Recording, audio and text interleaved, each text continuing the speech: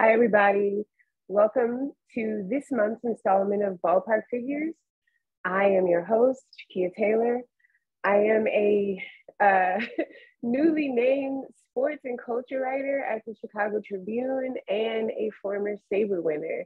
Uh, thank you all for joining us. I am very, very excited to have my cousin, Randy Wilkins. He is the director of ESPN's 30 for 30, The Captain. Um, Randy is a three time Emmy Award winning writer, director, and editor from the Bronx.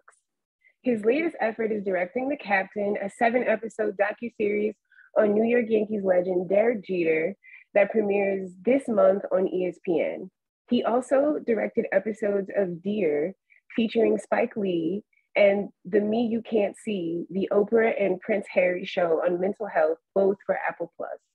His commercial work includes the Jackie Robinson Day spot for Major League Baseball and the Pepsi Holiday Give Back. Outside of directing, Randy has served as lead editor on numerous Spike Lee joints, including She's Gotta Have It and Rodney King for Netflix. Randy.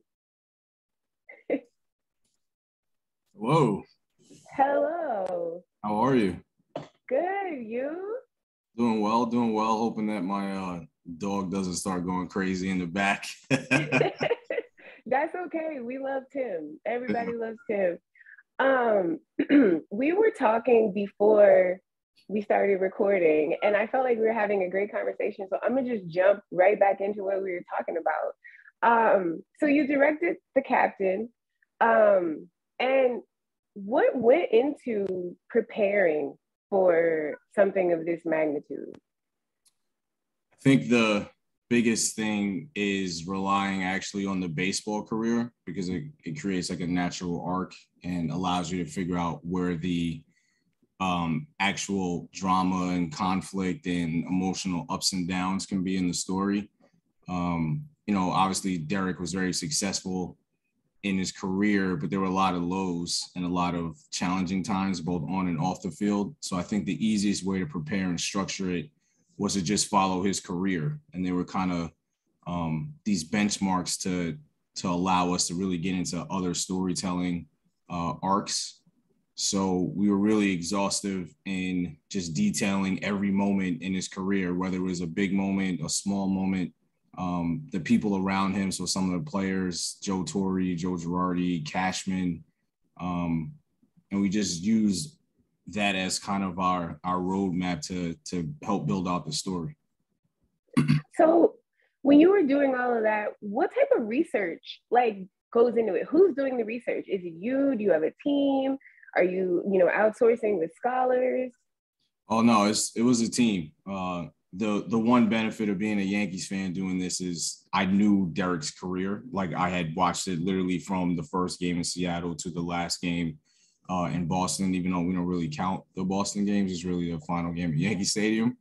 Uh, but it was a team. I mean, the producers Alex Cirillo and Gabe Honig uh, did a lot of research. We have a great co-producer Sasha Gardner who did a lot of research for us. He was almost like our in-house uh, researcher. Um, we read a lot of stuff, read a lot of books. Um, our archival producer at the time, Sheila Manyar, had uh, put together this insane database of articles over Derek's career, even pre-career. Um, so yeah, it was like a, a total team effort. We were all reading the same books, and we would just have meetings where we just discussed um, some of the insights from the book, some of the things that we remembered as fans. Um, it was it was exhaustive. We we took about a month, which which probably wasn't enough time. And you know when you think about something of this scale, um, mm-hmm. but we were like really dedicated. we would be in the office for however many hours, but we were doing work outside of the office. So it was really like 10, 12 hour days within this month period of research. But it, again, it also helped that I knew Derek's career. Um, Gabe is also a huge Yankees fan, so he knew Derek's career. Alex was familiar with it. Um, Sasha, someone that you know, is a a brilliant guy who is also a huge baseball fan. He's a Cubs and Mariners fan. So, um, and also uh, our she became our line producer, but Jenna McCrary was also great, just helping us build out the story and finding emotional moments that she felt could like really, really work well. So total team team effort. Like I I couldn't have done it without them, but I also couldn't go out to outside scholars because we're telling a story. So um, it was something that we had to do because we were also story building at the same time. What was that? Pro- what was the project like to work on as a Yankees fan? I know that you try to keep Randy the professional and Randy the fan somewhat separate, but I have to imagine at some point Randy the fan started to jump out a little bit. Uh, Randy the fan jumped out before we started filming. You know, it was like when I first got the gig, Randy the fan was like besides himself. Uh, when we first started, it was kind of like, you know, this is crazy that I have this honor and privilege to tell Derek's story. Um, and it helped again, like with the research. So Randy the fan popped up in the story building because it was I had to lean on those experiences. But yeah, once we got going, Randy the fan completely disappeared. Like it had nothing to do with it outside of when I would meet like Reggie Jackson or Brian Cashman or Jorge or Bernie. Like there would be a moment there. Mm-hmm. Uh, but once we had to get to work, we got to work. We didn't really, uh, we didn't really, nobody was impacted by my fandom. You know, it was like, yeah, I have a job to do. So that's more important than my, my Yankee fandom. Did you have any difficulty talking about controversial issues or topics with Derek at all? No, I don't think so. I mean, not from what I remember. Uh, he was he was open to talk about things that people wanted to talk about. Um, I know people want to talk about A Rod. We definitely talk about A Rod. People want to talk about gift baskets. We talked about gift baskets, and uh, you know, there's a lot of there's actually a lot of internal strife that Derek had with the Yankees over the years and conflict with Brian Cashman in the front office, not with the Steinbrenners. He always had a like tremendous relationship with the Steinbrenners. But he at time he had a rocky relationship with Brian Cashman in the front office, and we get into that. You know, so he didn't he didn't shy away from anything. He was he was open. You know, he's he's still big on like protecting teammates. So I think he didn't want to put people in a position where they kind of were felt like they got blindsided and like would have to fend for themselves. Mm-hmm. Um, so I think things that focused on him, he definitely talked about, and him still being the captain by nature. You know, he wanted to make sure that he protected his teammates in the sense that they wouldn't all of a sudden have to answer questions in the media because we just came up with this story that they weren't prepared to be in the film. With with him being so open right? And you know you having access to his family in this like what did you learn that you didn't know before? And what would we learn that we didn't know before if that's different? I think one thing that i learned was how impactful his childhood as a biracial black kid impacted him both on the field and off the field. Um, I think I underestimated that experience and how that shaped his worldview. Um, of course, I was like thrown off by how like intense he is. Like he's very intense and has this edge that like turns on immediately. But I think the thing that I was most fascinated by as the story was going on was just how much of his upbringing really impacted how he viewed the world and how he was going to function in the world, especially in New York. So um, yeah, that was that was the biggest takeaway. Just that you know when people are staring at you just because you're biracial and you're um, in a predominantly white city in the Midwest, and you stick out like a sore thumb just because you exist. You know, it's going to influence the way that you interact with others and how you navigate through things. So I think um, one thing that Derek always talked about was he loved people watching him play you know, and all eyes were on him and he like thrived off of that. But then off the field, he didn't really like people watching him or looking at mm-hmm. him. So it was this interesting uh, balance that he had to strike that I think really drove him as a player and also influenced the way that he interacted with the public while he was playing. Um, so yeah, that was probably the most fascinating thing. What do you think? Like, I mean, based on just this part alone, you know, we're hearing that Derek was one way in public and completely different in private. And I would imagine that's because obviously being a athlete celebrity in New York, you kind of want to keep part of your life private. Um, in what do you think young athletes today could take from the way Derek handled the media then? Um, I don't. I, I'm not sure. This is a different world, different time, right? So mm-hmm. like social media has completely changed the way we consume and perceive and interact. So Derek wouldn't have been able to be Derek now that he was back in the day. So I think we have to like contextualize that. Mm-hmm. I think I think the biggest takeaway is no distractions to take away from winning. And I feel like that's ultimately why he created that persona outside of like the cultural identity stuff that I mentioned.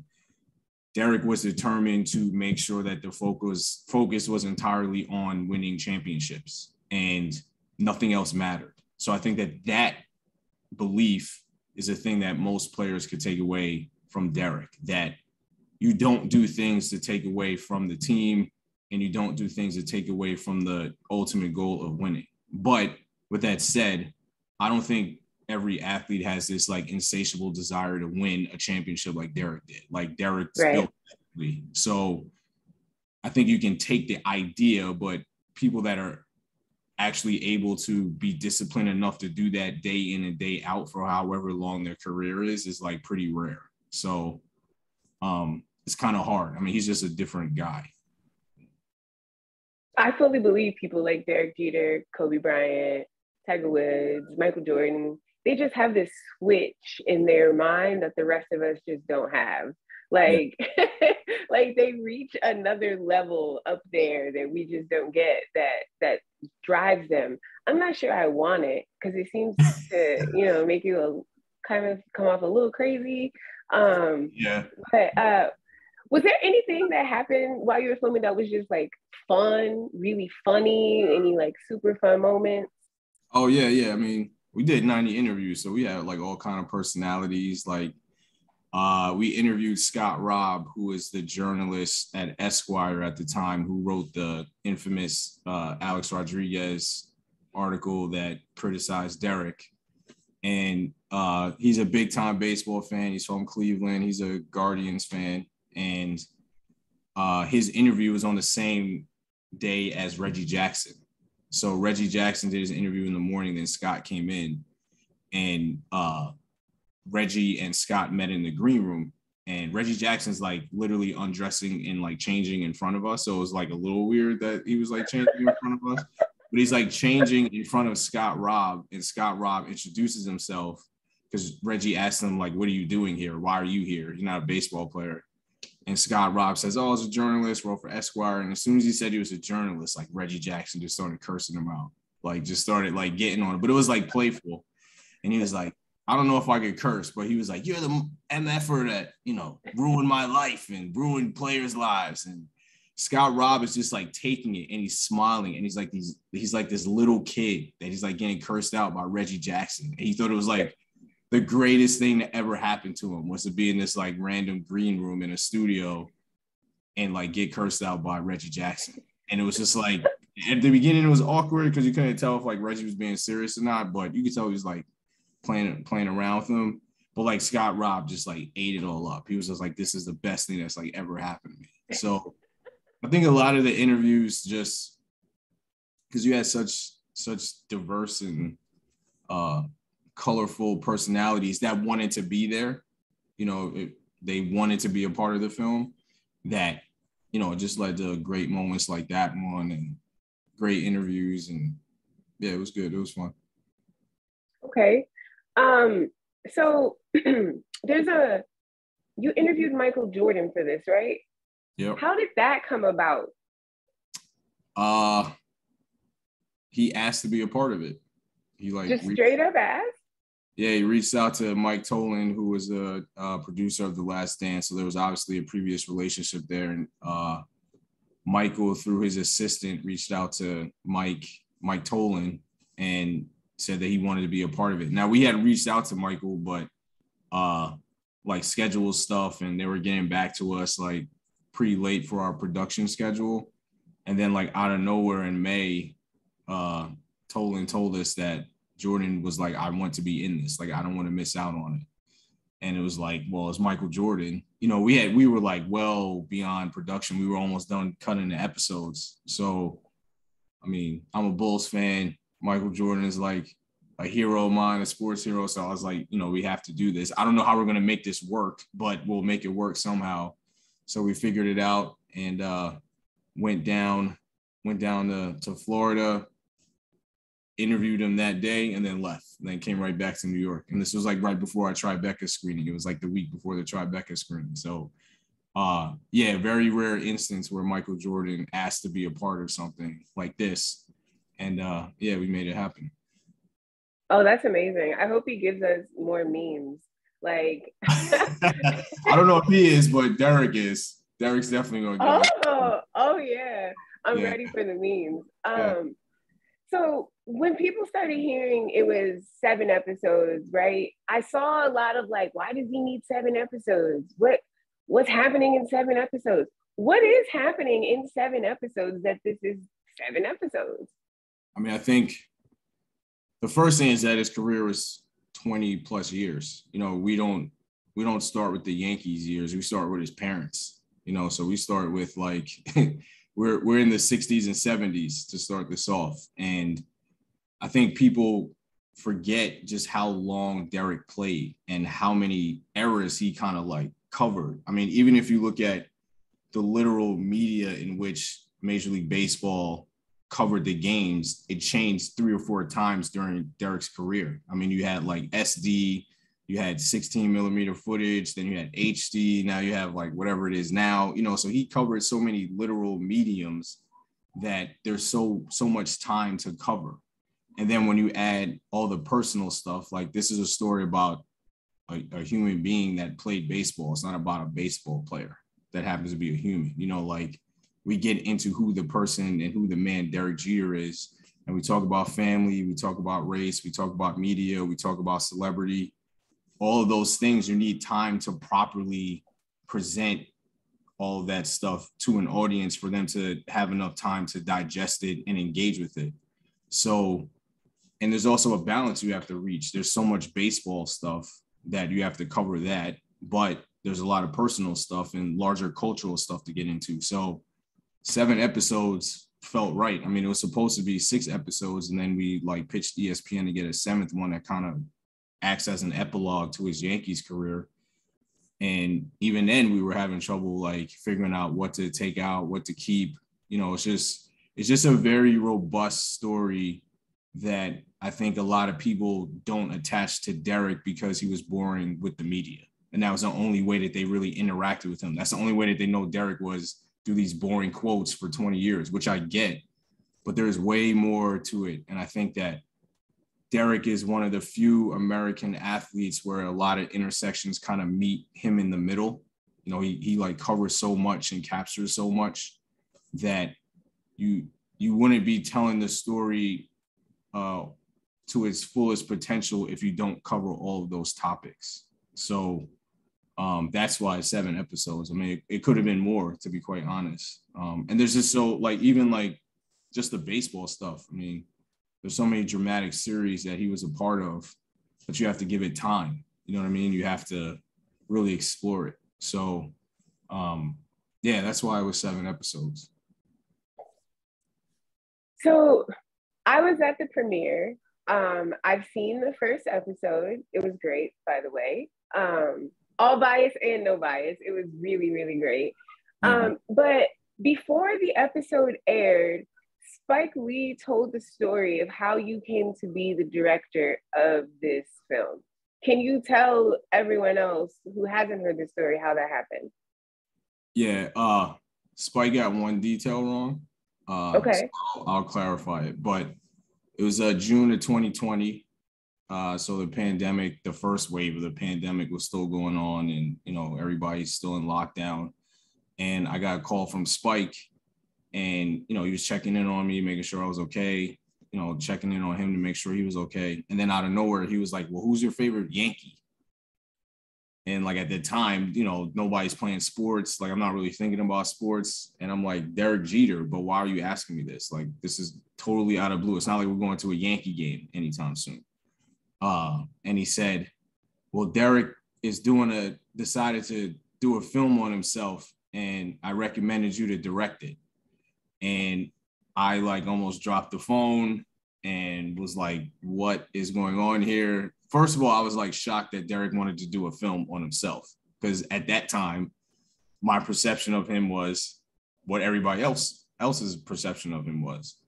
Uh, so I was thrown off by that, and then obviously like floored that he would recommend me to Derek to tell his story. And I knew that Derek and Spike had a long relationship, like they're good friends.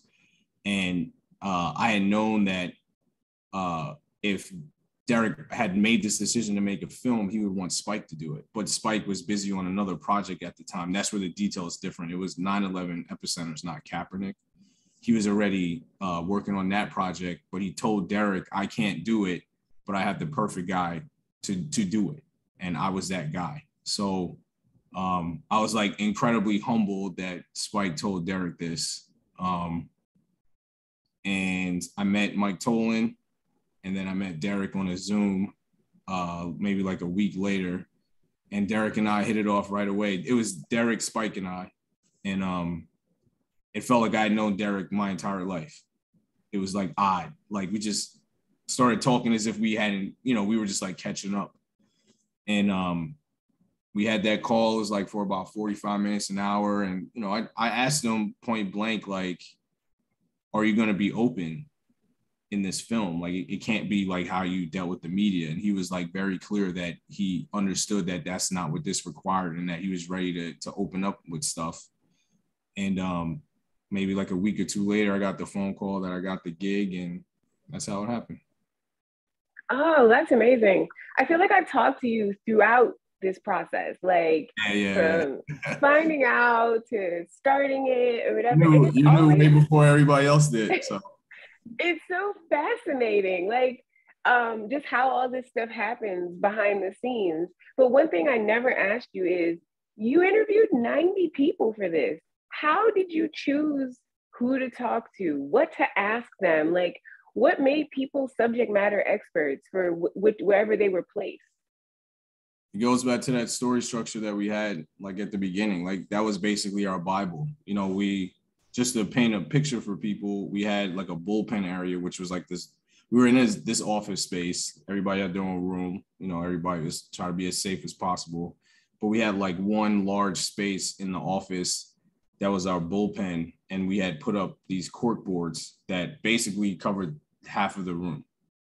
And we basically put no cards. We had a year a no card for each year. And then that year we had like every baseball event, every personal event, every event culturally or of any kind of significance in New York City or America in that in that year. So we had a column for each year, the 80s all the way till 20, 2014, because we treated the Marlins as something completely different. Uh, so when we had whittled down what were going to be the the points that we were going to touch on in the film and were a part a part of the final story that we were telling we just started compiling the interview list that corresponded with those story points so there's the obvious excuse me the obvious ones like the core four and joe torre and brian cashman and hal steinbrenner the journalists became a big part of the story as well so it was like just finding all the beat reporters and um, columnists that could talk to things. Then we needed someone like yourself that could give us a larger cultural view of not just like Derek's career, but of baseball in America and how those things intertwine. Like everything was just based off of that that Bible that we created for ourselves, and we knew who the important figures were, and it was just like, okay, who fits during what time, during what era, um, and just go after them and get them you know, again, Derek's career is so vast. There were so many eras. There were people that come in and out of his life and his career rapidly. You know, so you have David Cone and Darryl Strawberry, um, uh, uh, Tim Raines, Dave Winfield for like one part of his career. Winfield is in and out. Um, and then all of a sudden you have CC Sabathia and Joe Girardi and Joe Girardi, the manager, not the necessarily the player. Um, Jimmy Rollins as a competitor. Uh, you know, there's so many people that come in and out, even the journalists come in and out. So that's why we needed to talk to so many people. And also they gave us like a bunch of time. Like, I mean, we spoke to people for three, four hours. You know, most of the, I think the shortest interview outside of the like 45 hour ones was two and a half hours. You know what I mean? So I, I was sitting in this chair for like three, four hours, three interviews a day. Um, so we wanted to be as extensive and, and cover as much as possible. Um, but it just came back to that that structure that we created, and then we went from there. Did you find that most people you asked to be in it were uh, pretty interested in participating? Oh yeah, they wanted to be a part of it. I, it was like remarkable to see how much love Derek has from a lot of people, you know, and and they again they were like very generous with their time. You know, we were like, we need you for like three or four hours in the chair. And they're like, yeah, sure, no problem. It was always like a scheduling thing because obviously these are busy people, but people were very enthusiastic to be a part of it. And I think that that just goes back to the person that Derek is and and the teammate he was. Um, and it was like remarkable to see and feel the enthusiasm and commitment that people made for this film to make it as good as it could possibly be. And also, I mean, it was it wasn't just all Yankees. I mean, we had like Nomar in there, we have Theo Epstein in there, Jimmy Rollins, like I mentioned. Uh, people from different organizations are a part of this as well. So, and and people that don't normally do stuff like this, like Roger Clemens uh, is in this. Um, Brian Cashman, Hal Steinbrenner, we got Hal. So, um, yeah, it was. It's a testament to to who Derek is. I think they weren't there for me; they were there for Derek. So. Uh, Mark is asking, is his favorite Yankee Bernie Williams included? Of course. Come on, man. We're not gonna make a film without Bernie. Bernie was uh besides Derek, Bernie was my favorite player, so he had to be in it. Uh so yeah, Bernie's in it for sure. Is there anything on the cutting room floor that we would be interested in? Everything. Everything. Uh, yeah, well, yeah. I mean, there was a there's a lot of stuff. I mean, again, like if you think about, let's say, seventy interviews or three to four hours long, there's a lot of great stuff in there that you could you could add or like make another episode out of. Um, there's a lot of bonus content actually that will live on ESPN Plus. Uh, there's a lot. I just I the answer is yes, not everything, but uh, there's a lot of it. There's a lot of it um, so much to the point that I can't really remember off the top of my head. I'll I'll jog my memory as we keep talking, but um, yeah, I, I think one thing. So a lot of stuff that's on the cutting room floor. If you're a Yankees fan, there's a lot of stuff that's interesting because we wanted to make sure that this wasn't like a Yankee doc. You know, it's a it's a documentary about Derek Jeter who happened to play for the Yankees, and we didn't want to alienate people that aren't Yankees fans. Like we wanted this to be all inclusive, you know, baseball fans or uh, non baseball fans alike. We just wanted to make sure that like people felt like they could access this as much as a Yankees fan. Uh, so we were very conscious of making sure that we didn't like cross the line of making this too like Yankee centric and getting into all the greater Yankee storylines. Try to like keep everything through Derek. There's some moments where we like take a detour, but mm-hmm. uh, you know, we were conscious to not make this like just for Yankees fans. That's not fair. And like a lot of people wouldn't watch and I wouldn't blame them to be quite honest. So knowing what you do now about Derek, do you think he will ever come back for an old timers day? Will Derek come back for an old timers day? Mm-hmm. No. Why no. not? Right. He wouldn't play. He hasn't he has not touched a baseball or glove or a bat since he retired. So I think the closest you'll get is the the Derek Jeter Hall of Fame celebration that the Yankees are having for him. But I, I would be shocked if he showed up to an old timers game and actually played. I mean, he might do the DiMaggio thing where he shows up in uniform and waves to the crowd, but I I would be very surprised if he uh he picked up a glove and started like throwing. Like he's he has like no. It, it's amazing. Somebody that like was obsessed with baseball. Like as soon as he retired, it was just like I'm done. I'm not playing anymore. I'm not throwing with anybody. I'm not like doing any of this. Uh, so he like cut that off like right away. Um, if you can name your next project, is there another sports figure that you would want to make the focus of a documentary? Uh, Lewis Hamilton. Go on. I mean, I'm listening. Uh, I think Lewis Hamilton is another figure where a lot of intersections meet him in the center. And I think that uh, for a sport that was once considered niche is now very global and accessible. And I think that he's part of the reason why that is true. He's not the only reason. Uh, but I think that there are a lot of dynamics to Lewis Hamilton's life that um, kind of mirror Derek's in a way, just in terms of like cultural impact and like where he sits in the sport and like transcends the sport. And mm-hmm. again, mm-hmm. like things about race and celebrity and pressures. And I mean, he was Lewis Hamilton was basically a child prodigy that like cashed in on his gift. And I think that he's fascinating beyond just like racing. Um, which if if I was to do a sports doc, that's the only story that I would be interested in. Not Lewis, but like this idea that like these athletes transcend the sport that he or she plays in and has a much larger cultural significance than people might give them credit for and exploring that. So I don't really want to do a sports related film that is just like rehashing sports events. Like I'm not interested in that. It's more about the person and their impact. Would you say that's what draws you to pretty much most things you do, having some larger uh, cultural aspect to it? Yeah, absolutely. I mean, I feel like I feel like art is telling us as much about ourselves as it is the people that we focus on or the stories that we tell or the scripts that we're like filming. So to me, it has to have some kind of cultural referendum attached to it. Um, and I think with everything going on in the world, like I have a particular interest in American society and like what is truly American, what does America really look like, what does it feel like, what does it um, do to one another, things like that. So I think that's kind of the story that I've been drawn to over the last couple of years. So, as a Yankees fan, how are you feeling about this season? Oh, we won the World Series, Shakeia. I'm gonna be, I'm gonna be uh at the Canyon of Heroes in October, like getting crushed by other Yankees fans.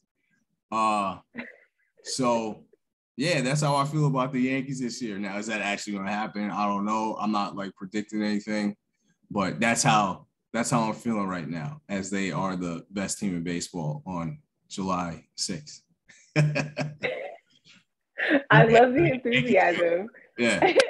uh, before we jump all the way into the Yankees portion of the chat, Scott, um, Marlene has a question. I think it's a good one. What about a woman athlete? Like, what woman athlete would you want to do a documentary? Uh, honestly, right now, if we're talking about current events, Brittney Griner. I mean, like, what the hell is going on? You know, and, and why is it happening? Uh, she's one of the great American athletes of the last 10, 15 years. And now this thing is happening. So uh, my immediate thought would be Brittney Griner. And I think it's a, a travesty that it's not the number one sports story. It should have been the number one sports story as soon as it happened. You know, like we rightfully talk about the war in Ukraine, but then there's a basically a hostage in Russia because of the war in Ukraine, and we don't we don't talk about it. You know, it's just dismissed. And uh, I think race plays a part in it. Um, I think the fact that she's a woman plays a very large part in it. You know, I think that there are a lot of obvious reasons and then not so obvious reasons why this is happening. Uh, but I feel like someone at some point needs to tell Brittney Griner's story. Now, I'm not sure that this is the right time because it's still happening, obviously, but uh, that would be one for sure.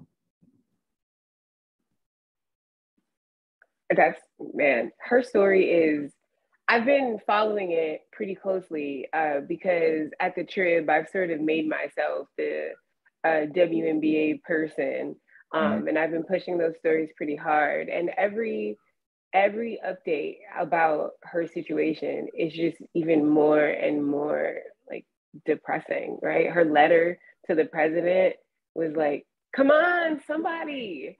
Yeah, it's so, it's it's infuriating. Like I don't I don't find it depressing. I find it infuriating. Like, and it also is just she's a member of a league that is the most activist of all the leagues by far. I mean, mm-hmm.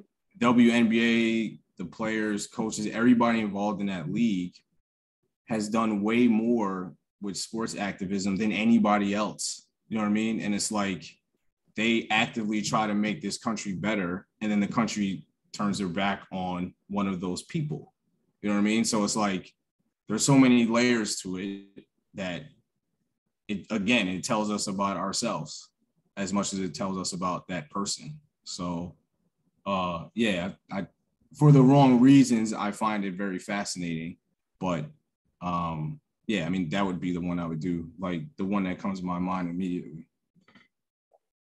Aside from the Yankees, are you following any other baseball team this season? Is any other team like catching your interest at all? This year, no, because the Yankees are great. Uh, but uh, I watch baseball, so I mean, like, I don't, I don't just watch the Yankees. Like, I'm watching as much as I can watch. I will watch it. Um, so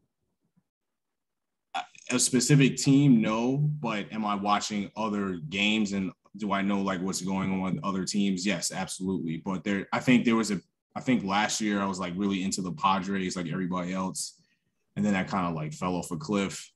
Um, the Dodgers, I always watch. I like the West Coast teams. Like I like NL West teams. So I'll watch their games like pretty consistently if I'm like still awake. Uh, because there's there's like an allure with those teams outside of the Diamondbacks. No offense to like D-backs fans, but like the other teams I'm like really fascinated by but there isn't like one team that I've kind of just like latched onto uh, as much as the Yankees. I do, I do pay attention to the Mets, um, just because part of me wants to like laugh at them, but part of me wants them to do well. You know what I mean? Like I think New York is much better when both teams are going really well. Um, but yeah, I mean, I'm I'm very much in tune with like what's going on, and I watch the AL East teams for obvious reasons, but that I haven't like attached myself to a second team this season like I have in the past. My team stinks, so I just watch everybody else be happy. that's, that's Triston McKenzie's good though. He's amazing, right? Yeah, and I good. can't wait until they find a way to trade him, and then trade him to the Yankees. Dude, don't even play. Don't even play like that. Listen, I told you I bought that cute Yankees cap, and whenever I wear it, I feel so dirty, but it is so cute. Like yeah. people are always like, "Wait, you're wearing a Yankees cap?" I'm like, "I'll wear any team's hat if it's cute," but like they oh, have I to know that it's crushing my soul. I have like had some like all kind of teams. Like I'm not yeah. one of those people that's like I just wear a Yankees hat. Like I think that that's you know it's I mean you know this is it's fashion. You know it's it goes beyond just like team allegiance. So yeah, I wear right. I wear all kind of hats. So we got a question about production. What did a typical day in post production look like for these episodes? How do you build out a schedule to make seven episodes on budget and on time? Um, so a lot of that is like a producing question. So I wasn't like in the nitty gritty of building the schedule out, but basically you have benchmark dates where you have to deliver cuts to either the EP, um, the EPs and ESPN. So you kind of take those dates, those delivery dates, and work backwards. Um, so you'll have that main target. So say you have episode one. Say, uh, let's just say the first rough cut is due February 1st. So you work from February 1st back. And then you maybe like two weeks before February 1st, you have the editors deliver a cut that is just internal. So you look at it yourself, you give notes, you give them a couple days to make those changes and you're looking at it again and then you're looking at it again now it's a little different because of covid normally you would be in the office together and you would be screening together but we were in the office right when the uh, omicron surge happened. So we went remote and we never came back in the office uh, as a total unit. So a lot of it was just links. So we would just get links constant links constant links send notes have zoom meetings. And then we're we're working towards delivering the first rough cut to the EPs. Then we get notes from them, make changes, and then eventually you hit that February 1st date and you send it to ESPN, and then ESPN is uh, giving you notes, and then you're just starting the process over. But we had multiple editors, so we had multiple editors working on multiple episodes. So I I'm just inundated with links. So I'm just looking at links all day, and I'm looking at cuts all day but you build out that schedule at least like during the offline edit to hit those those dates and then you just work backwards and then um, as long as you're diligent and on top of everything you you hit the dates all the time. And in terms of just like budget you can't be reckless. You know it's a it's amazing what you'll see in a film budget that uh, not being very disciplined. You know there are people taking advantage of money that's there and they spend it on things that they shouldn't be spending it on. That's what makes a budget go uh, you know, past the limitations that you have, or they're not buttoned up in terms of like, do you have to pay SAG because you're using a commercial that has SAG actors in it? Um, are you like going through all of the licensing uh, deals and like all the uh, fine details for a music uh, for a song that you want to license? You know what I mean? Like it's all of those things. You just have to have a team that's like really detail oriented and, and focused um, on the small things so that you don't go over budget. It's like the little things that you feel like you take for granted are the things that come to bite you in the butt later on. So you just have to make sure that you're on top of everything. It's really like an exercise in, in discipline. Well, we got three questions here. So the first one is Did you find out anything on Derek when he was with the Columbus Clippers? Uh, no, sorry. Um, three hour interview sessions. What are some of the things you need to do as a filmmaker to keep the interview subject fresh and engaged so they give you good material? The whole, that's a good question. All the questions are good, but this is a good one because I think I don't look at them as interviews, they're conversations. So if you're creating an environment where people are comfortable and relaxed they forget about the camera, they forget about the dolly, they forget about the lights, they forget about the mic. They're just talking, you know. And when you're engaging someone that they're in, uh, when you're engaging someone with topics and experiences that they view fondly or have passion for, they'll talk for a very long time as long as it doesn't feel like an interview, it doesn't feel like an interrogation. So like when I spoke spoke to people, I made it feel like it was a conversation. We were just like in the barbershop or we went out to get a drink and we're just talking. It just happens to be that like I'm recording it. So um I never steered somebody in a particular direction because I needed a bite or I wanted to like alter the truth. People spoke their truth and their perspective and they were encouraged to do so. So i think that that's another thing when people are told that i'm here to hear your truth your side of things they're more apt to engage rather than you fishing for something or trying to like force to force someone to go in a particular direction. They'll pick up on that. I have no interest in doing that. This is not my story. I wasn't there. I didn't play professional baseball. I wasn't in the yankees clubhouse so for me, it's a fact finding mission, and it's also looking for stories and uh, looking for people's truths. So for me, it's uh, building an environment where people are relaxed and they know that they are com- that they are protected to tell their truth. You know that they're supported in doing that. Like when I spoke with you, we weren't didn't feel like an interview. We were just talking. You know yeah, I, mean? I was gonna say, I think I could actually speak to that as one of the people you interviewed. I remember everyone telling me you could see the moment that I forgot that the cameras were there because I started talking with my hands, which is what I'm doing right now. Um, but like I remember afterwards, I just sort of zoned out and we were just talking and I wasn't looking at the camera and I wasn't looking at the people moving to the side. Like it was for sure a conversation, which is probably why, you know, my answers were what they were. Um, and people liked them so much because I was just speaking and not rehearsing anything. Yeah. Um, it's not that for me is not a good interview.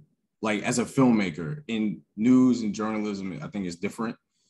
Uh, but you're looking for emotion, emotion and truths and vulnerability. So you have to create an environment and have an approach where that can come out. You know, like one example was Derek's wife.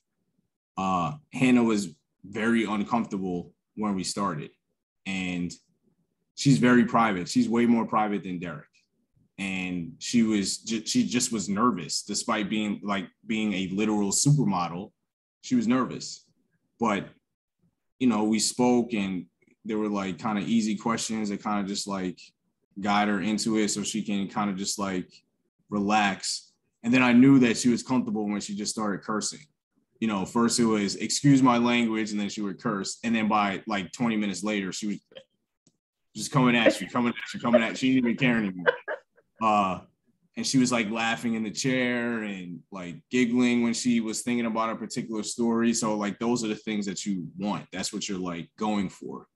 Um, and you, I don't think you get that if you're like making it feel like an interview or it's clear that you're hunting for something. Like I'm not hunting for anything. Uh, yeah, I think that was the best instruction we got though that we were allowed to cuss.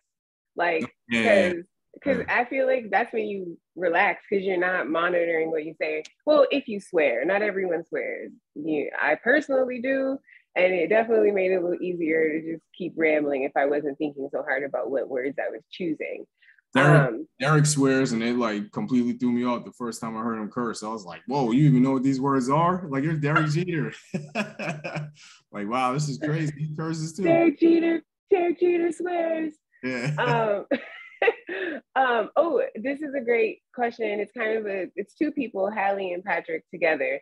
Um, I told you that the music in the first episode was fire. I absolutely love that it was actually from the year that you was being spoken about, which I feel like is one of my biggest things with films. Like, why is this song from 1995 playing in 1988? But you didn't do that. Yeah, yeah, so Pat's question is Is Ghostface Killah's Mighty Healthy in the soundtrack of any of the episodes? And Hallie's is How did you go about building the soundtrack? Uh, okay, so Mighty Healthy was in it, but we had to take it out because the fee was like too expensive compared to like some of the other songs that we have in it. So it was in it to the very end. I tried very hard to keep it, but you know, ESPN music license policy kind of gets in the way and makes things more expensive just naturally. And then, you know, the the record labels and the publishers are trying to get their their piece. So I had it in there and then I took it out because uh I had to make some decisions because there's a budget limitation. So uh it was in there, but it's not in there anymore. Uh and what was the second question? How did I build the? How did you go about building the soundtrack? Uh, I was like a backpacker when I was younger. I was like a big hip hop head. So basically, it was like songs that I loved that I knew that would fit the era, and then just tried to go for it. You know, and and some of them are like deep cuts. Like it's not like the most obvious choice. Uh, I think when you get to um, the second episode, there are a couple songs that you wouldn't anticipate being in a film.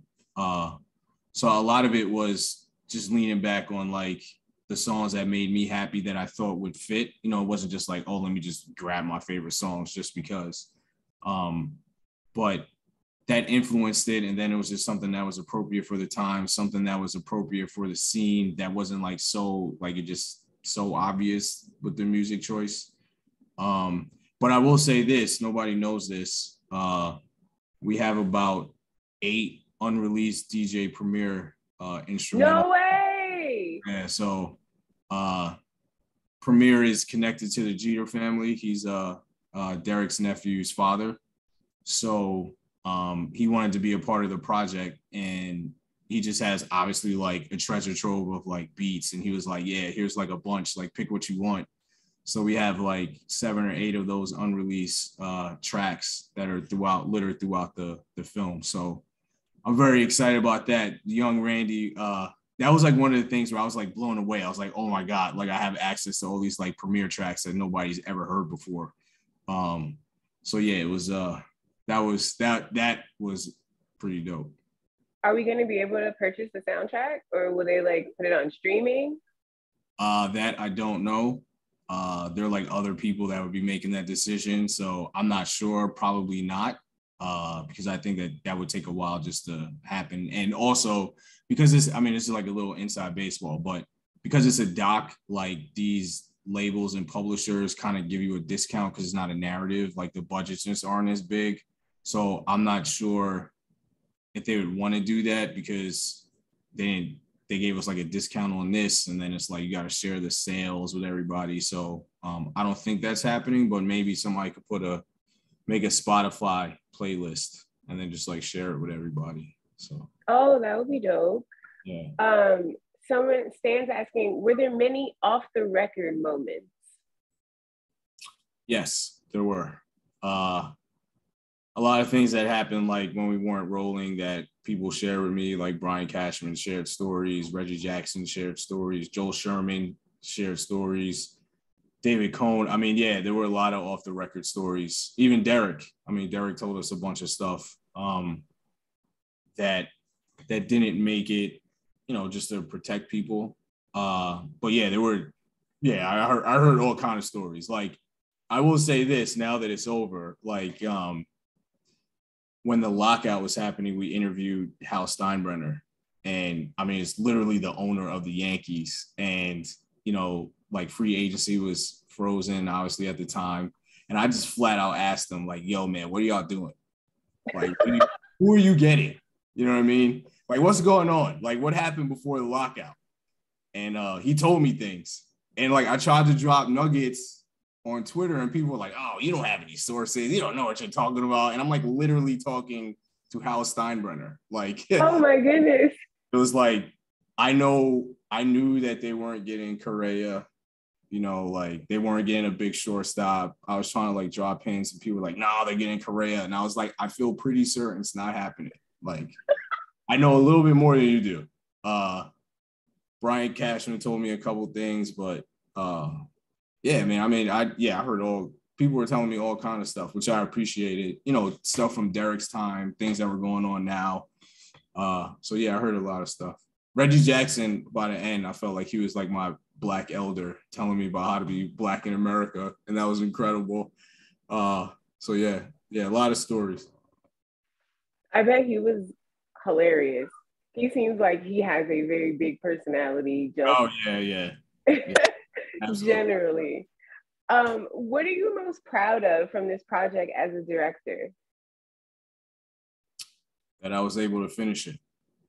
And I know that might sound like a very uh, simple or like evasive answer, but whenever you can finish a project as a filmmaker, that's probably your biggest biggest accomplishment because it's so hard to make this and it takes so long and there are so many especially on this project, there's so many cooks in the kitchen and you have to like be committed to your vision despite like what people are suggesting or like pushing on you and all those things. So I think walking away with a film that I'm like genuinely incredibly proud of and I know that it's good and I know that people will like it. Now, of course, you're gonna have people that are gonna nitpick and like criticize it. That comes with the territory, but I know that it's good you know, and I know that it's engaging and I know people will enjoy it, you know, depending on how they're coming into it as a Yankee fan, not a Yankee fan, baseball fan or not.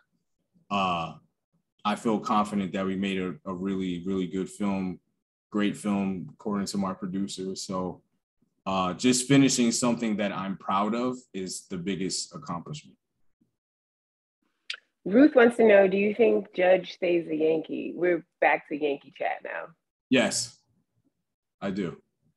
I think the Yankees made it way more difficult for themselves, but I think they need each other. I don't think it's a Robinson Cano situation. So uh, yeah, I think he'll I think he'll be back, but he'll be obviously he's going to be way more expensive than he was a couple months ago.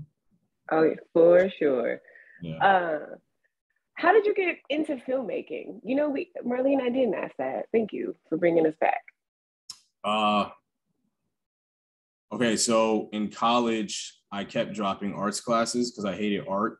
Like, wasn't an artist, didn't care for it, didn't draw. Like, I just didn't care. Uh, in my senior year, I needed an art credit to graduate on time. That was like the one requirement that I didn't have because I, I dropped three arts classes the three years prior to my senior year. And the only art class that was open was a video narrative course that was taught by Mary Haverstick, who was an alum of Franklin and Marshall College, where I went to school for undergrad. And uh, she was also a working filmmaker. She taught this class. And I, I, I was so naive and like just not had no idea what movies and movie making and filmmaking was like that I just thought it was magic on the screen. Like I didn't know that like regular people could make films. I didn't know that they had digital cameras. I knew absolutely nothing. I just know that I liked movies and watched movies and that was it. So within the first five minutes, she basically was like, Yeah, there's a language to film, and you're communicating through this language. There's a craft, and here's Spike Lee. And like just threw up some Spike movies and like broke it down.